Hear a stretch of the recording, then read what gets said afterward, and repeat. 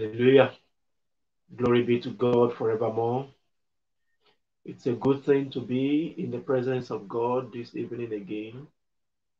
And it's my pleasure that we can reach you today again. We give God praise who has ordained all things according to his purpose. Blessed be his name forevermore. In the name of Jesus Christ of Nazareth. I want to welcome you all viewers. For those of you who are joining us for the first time, and you are seeing this video and this channel for the first time, I want to welcome you to the Reporters Ministry. This is God and You. It's a telecast where we investigate the God ordained things in the body of Christ, the things that pertains to God in His church, the body of Christ, in the assembly of the believers in Christ. So this is where we know the things that God has ordained and the things that He has not ordained. This is where we find out about the truth, the truth of the gospel, and the the things that pertain to sound doctrine. And I want to welcome all our returning viewers. Thank you for staying with us. We are starting a little late today, but we thank God that we are able eventually to bring you today's message. So today I will be continuing from where I stopped last week. And so today we are looking at the true church versus the false church, her, her structure. So today we are looking at the promotion, the promotion, the part two of the promotion, which is the part five of the entire message, true church versus church, false church, part five. But for the promotion, we're looking at the part two today. I was asking and answering a question last week that how did the woman in Revelation 17, how did she become um, that great? Where did she receive the glory from? Who gave her the position that she's leveraging on? So who gave her that position? Was it God? Was it the devil? Was it by own making? And last week I began to answer the question that it is God who has given her such a leverage, such a position, such a class. And I said to you last week that the devil does not build anything. The devil only hijacks things. And I quoted John chapter 10, verse 10. I told you that the devil comes, or the thief rather, the thief comes not but to steal, to kill, and to destroy. The thief cometh not but to steal. So there is something for him to steal and to kill. There is something for him to, to annihilate and to destroy. So the devil does not own these things, God owns everything. For the earth is the Lord's and the fullness thereof, the world and everything that is in it.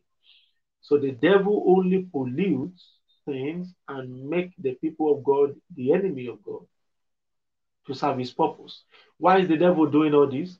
Because he knew that there is no mercy for him. He's going to be destroyed in the lake of fire on the day of judgment, and he wants to be he wants to make sure that he deceives as many as possible people so that he can drag them into the lake of fire with him. So did the devil really hate God that much? No, the devil hates you that much. It is insane for the devil to hate God and say, I hate God. How can you hate somebody that you cannot you cannot confront or withstand? But the devil hates you that much. In Revelation chapter 12, the Bible told us in the book of Revelation, chapter 12, that the devil knows that he has only but a little time so he went after the seed of the woman. Revelation 12, I want to read from verse 12 and following. Revelation 12, verse 12 and following. Therefore rejoice, ye heaven, and ye that dwell in them. Woe to the inhabitants of the earth and of the sea, for the devil is come down unto you, having great wrath, because he knoweth that he hath but a short time. So why is the devil so angry? Why was he so angry and why is he still so angry? Because Abu actually said that having a great wrath, The devil has a great wrath. He knew he had only but a short time. That was why he was angry. My time is limited. I'm going to be destroyed very soon. So I will make sure that I drag as many as possible people to myself. Glory be to God forevermore. Go to verse 17 of Revelation chapter 12. Verse 17. Again, you will see the anger of the devil. And the dragon was wroth with the woman. Did you see that? The devil was not angry with God. He cannot be angry with God. That's foolishness on his part. That's foolishness on his part. But he was angry with Israel, who gave birth to the church. And the dragon was wroth with the woman and went to make war with the remnant of her seed, which keep the commandments of God and have the testimony of Jesus Christ. And the dragon was wroth with the woman, not with God, but with the woman. She was angry with Israel. The dragon was angry with Abraham, was angry with Isaac, was angry with Jacob, was angry with Joseph, was angry with David, was angry with Mary, was angry with Rebecca, was angry with Rachel. The dragon was angry with everyone that has been a follower and people who have come to love God with all their heart so that the purpose of God can come to pass. The devil was angry with them. He was angry with the nation of Israel, the true nation of Israel, the holy ones that gave birth to the church by which Christ, our Messiah, came through and that gave birth to the church, the 12 apostles, the 120 disciples, the 3,000 converts in the Act chapter 2, the 5,000 converts in Act chapter 3 and chapter 4, the multitudes in Act chapter 5, chapter 6, chapter 7, and following. He went out to make war with the remnant of our seed, which keep the commandments of God. And how does the devil fight? How does he fight the, the church and the woman? Through deception. Through deception, so they can they can turn away from God. So that he can deceive them. That's how he defeated Adam in the Garden of Eden. He cannot destroy Adam. All he needed to do is to make Adam to sin against God. So this woman in the book of Revelation, chapter 17, was exalted by God. God was actually her promotion. And you remember the psalm, which says that promotion does not come from the south or from the east or from the west. So every promotion that is received on the earth is granted by God. But that promotion may be used for unholy things. They may be used for unholy things. Glory be to God forevermore. They may be used for unholy things. They may be used for uh, wicked things. But God has chosen to bless his people. Even Israel, when they go to the promised land, they, they turned away from God and follow after devils. They followed after devils and they were worshiping idols and all forms of um, abominable things. But God, who made all things in his own kindness and benevolence, you know, always receive that uh, the devil is after the people. So God really loved us, and the devil is the one that truly hated us. Glory be to God forevermore. And hallelujah. Praise God forevermore. So promotion does not come from the from the north. It doesn't come from the from the south. It doesn't come from the uh, promotion does not come from the east, nor from the west, nor from the south. Let me read it, put it according to context. In Psalm 75, verse 6. For promotion cometh not, neither from the east, nor from the west, nor from the south. But God is the judge. He putteth down one and setteth up another. Glory be to God. What is the promotion of this woman? God.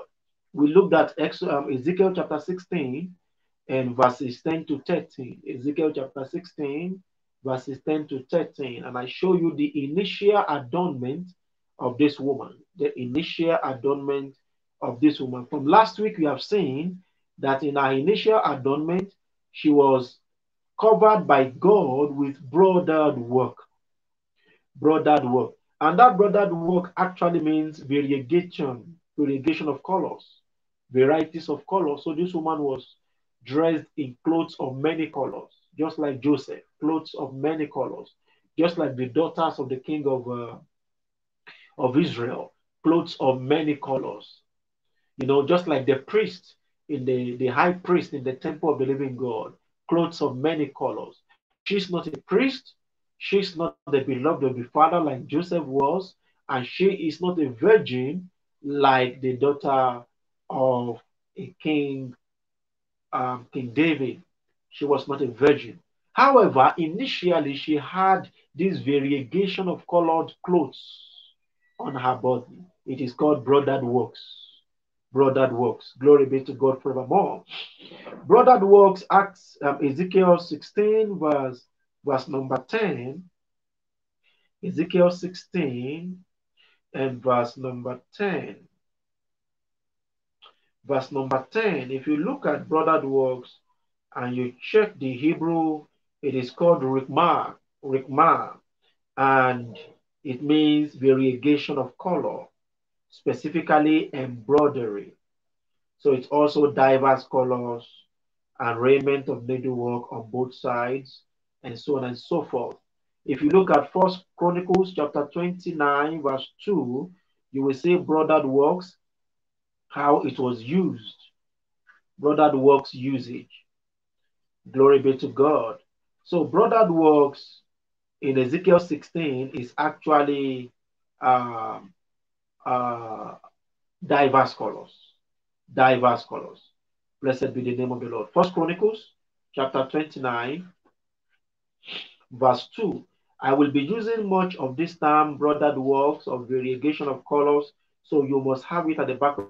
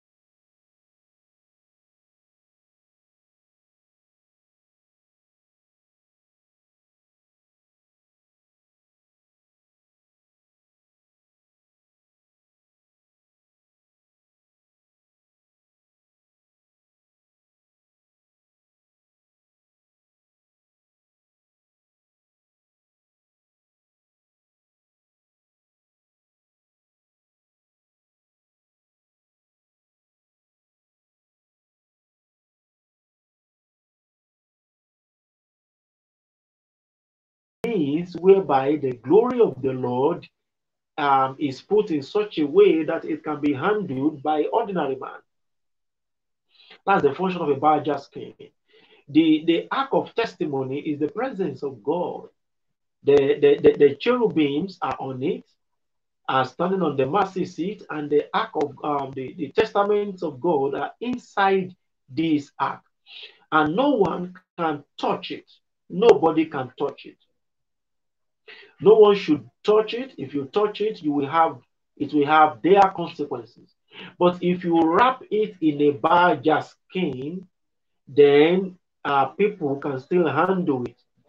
And the ark of God's testimony, the ark of God's, um, the tabernacle of witness in the wilderness is also covered with badger skin so that people can relate with it. Those that wants to clean can clean because of the skin that is covering it. And this badger skin is the type of the flesh of Jesus. Jesus is not a human being. Jesus is God. But Jesus put on flesh. The word of God says, and the word became flesh and dwelt among us.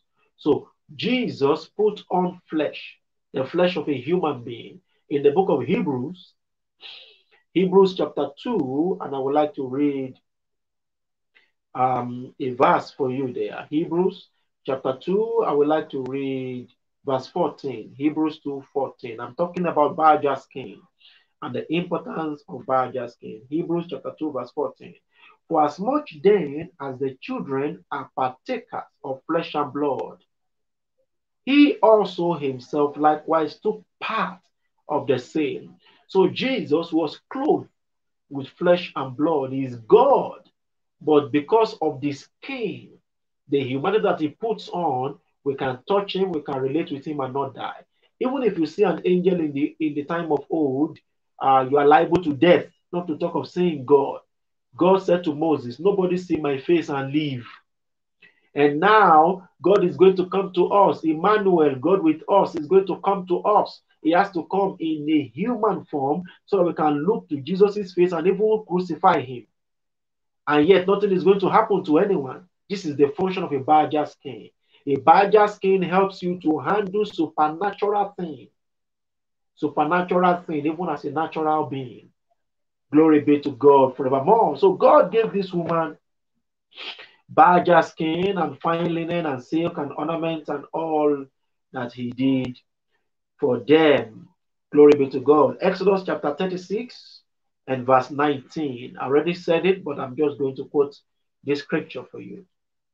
It's very important that you know the function of this thing. So when you see badger skin, it's talking about a type of the skin of the body of Jesus, a type of Jesus's flesh, badger skin. Exodus 36 and verse 19. And he made a covering for the tent of ram's skins dyed red. That's skin number one. And a covering of badger skin above that. So the, the material used for the covering of the tent, the tabernacle of witness, is ram skin. But on top of that ram skin dyed red, there is a badger skin. Glory to God. Numbers chapter 4 and verses 4 to 14. Numbers chapter 4, verses 4 to 14. I'd like you to pay attention to the emphasis of God's word. Numbers chapter 4, verses 4 to 14. This shall be the service of the sons of Kohath in the tabernacle of, of the congregation about the most holy things. About the most holy things.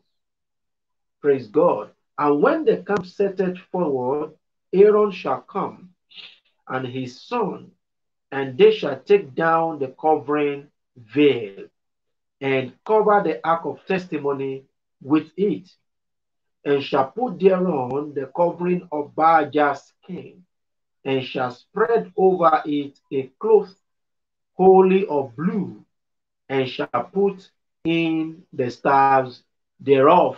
For them to be able to carry the ark of testimony, you must cover it with badger skin. Verse 7.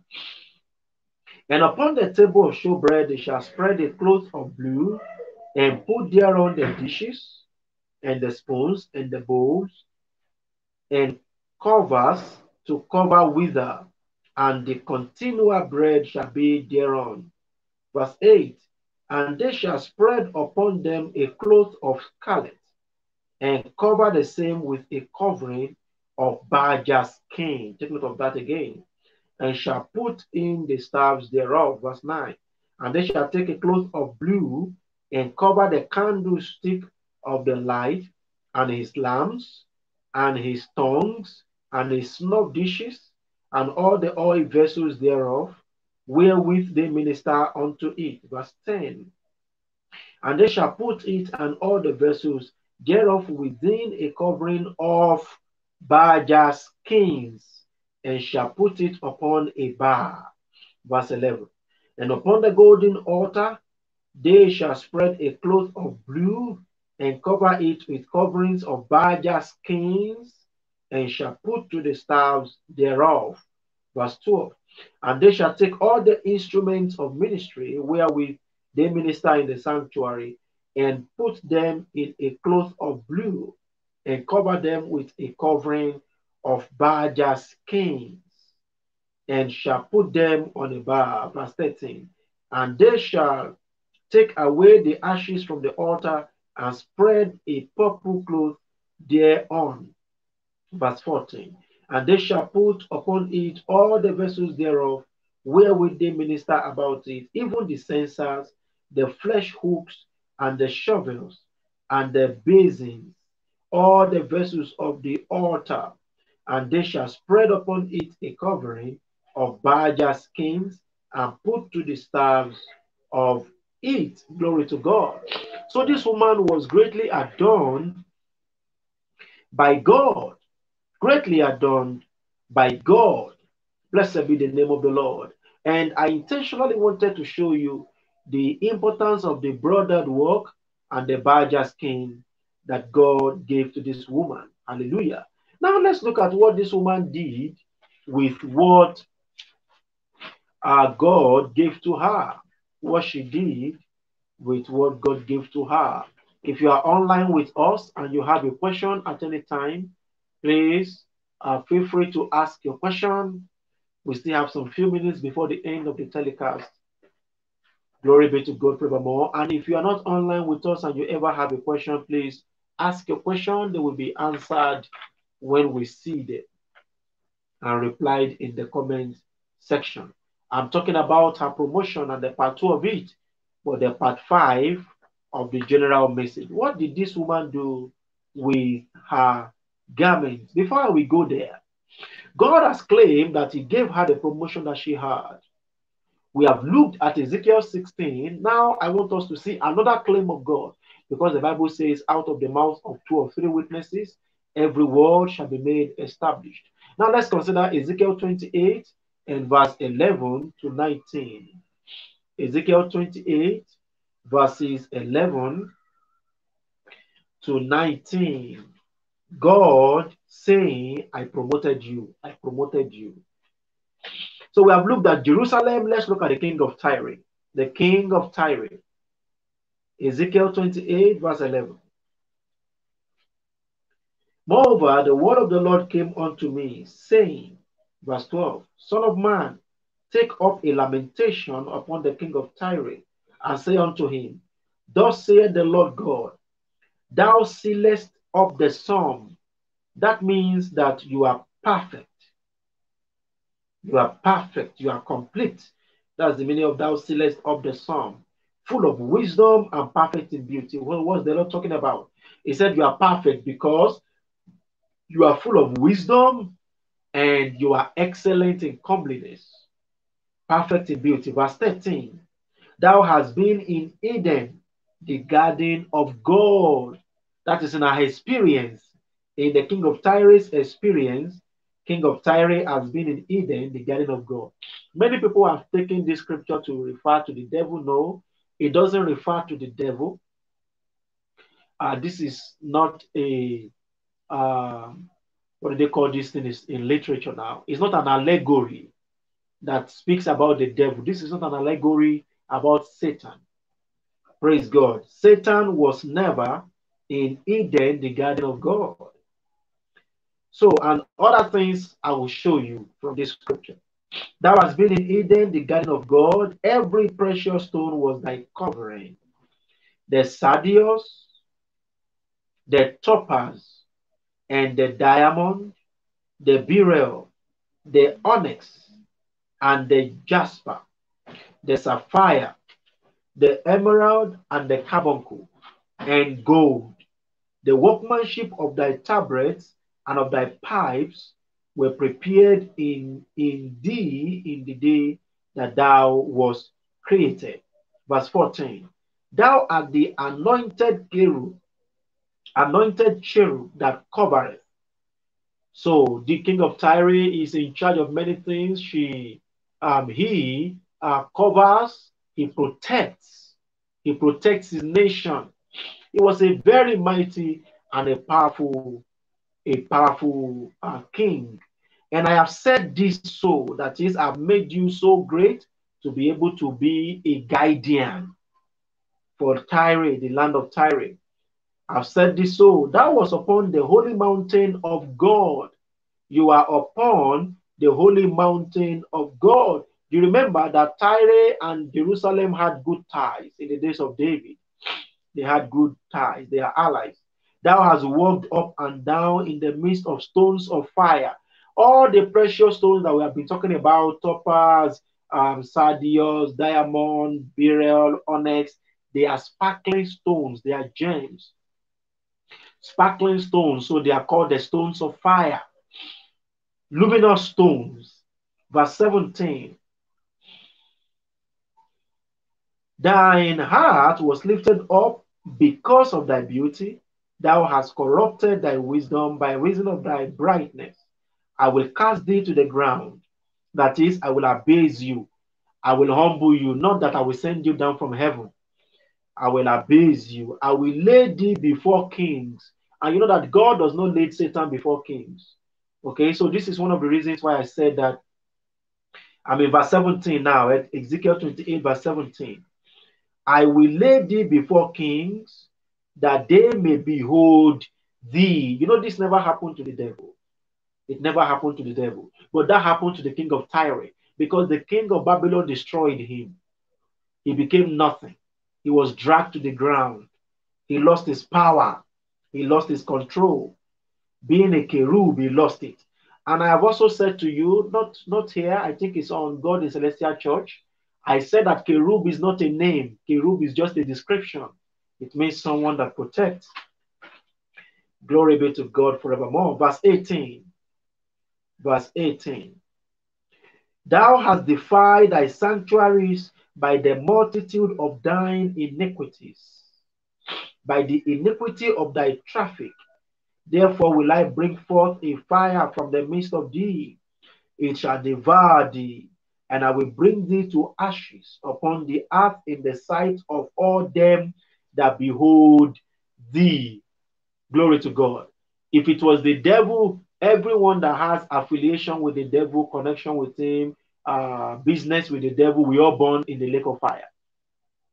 But this is a judgment before even the people that has business dealings with uh, the king of Tyre.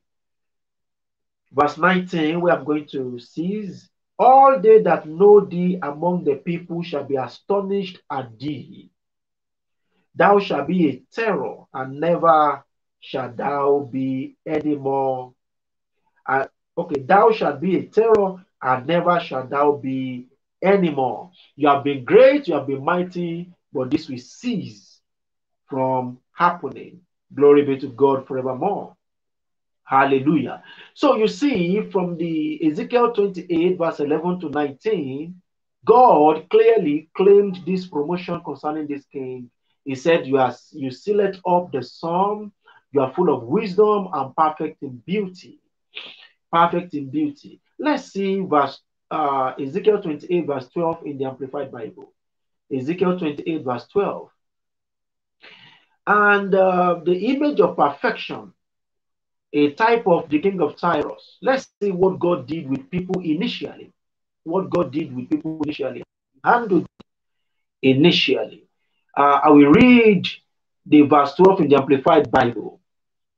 Verse 12 in the Amplified, in the Amplified Bible. Glory be to God. Son of man, take up a lamentation over the king of Tyre and say to him, Thus said the Lord God, you are the full measure and pattern of exactness, giving the finishing touch to all that constitute completeness. Wonderful, full of wisdom and perfect in beauty. Glory to God. Full of wisdom and perfect in beauty. Look at what God said again. Give the finishing touch to all that constitutes completeness. That's what King James calls you fill it up, this you seal it up the sum. So let's look at the image of perfection. The image of perfection. This is what God did with everybody from the beginning, with every human being, especially in Adam. And for those people who used to think that Ezekiel 28 is about the devil, it's even much more about Adam than even the devil. It was Adam who was in the garden. It was Adam who was excellent. God said, Good, I made it good. It was Adam who was um, uh, uh, walking in uh, excellency, glories, fiery stones. There are so many beautiful things in the Garden of Eden. It was actually Adam who fell away from there. And so, but in context, it was a reference to um, the king of Tyre, not the devil. Not the devil. One has been in the Garden of Eden. God said, That's what you have done. I, be, I made you beautiful. I put you in a pleasant situation. I put you in abundance. I put you in prosperity. That's what Garden of Eden represents. It represented abundance, prosperity, no lack. You don't need anything. You have everything you wanted in the Garden of Eden. Even if you don't have clothes, the glory of God is covering you. You have access to fellowship with God. You can eat all manners of things in the garden. And two, God said, Precious stones he has given for thy covering, and they are sardius, topaz, diamond, beryl, onyx, jasper, sapphire, emerald, carbuncle, and gold. The devil, at every point in time, has learned to, to deceive the people of God and turn them to evil people, to deceive them and make them evil. Glory be to God forevermore. It's going to be a long teaching, but if God wills, and as even He wills and the Spirit wills, I'll be back next week to show you what this woman did with all the adornment that God has given to her. I will leave you with this charge, this exhortation. Whatever you have now is from God. God is the one that does good for people.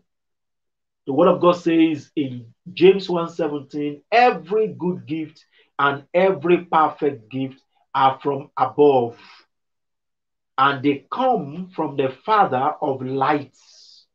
Every good gift and every perfect gift, they are from above. Rajaman, and they come from the come down from the Father of all that gives light. And in the shining of whom there can be no variation or shadow of turning. Glory be to God forevermore. So God is ready to promote you. But when this promotion comes, what is going to happen? Remember the word of the Lord about Israel. He said, Jeshurun became fat and kicked. He said, Thou became fat and you kicked. You become thickened, and now you are forsaking your God. Now you are forsaking your God. Jeshurun became fat. I will find that scripture for you and close with that scripture today as an exhortation while I bring you the word of God about how this woman wasted the blessings of God. Glory be to God forevermore. Hallelujah. Praise God. Deuteronomy chapter 32. Deuteronomy chapter 32. I want to read from verse verse 12. I want to read from verse 12. Deuteronomy 32. I will read from verse 12 and following. Deuteronomy 22, verse 12 and following.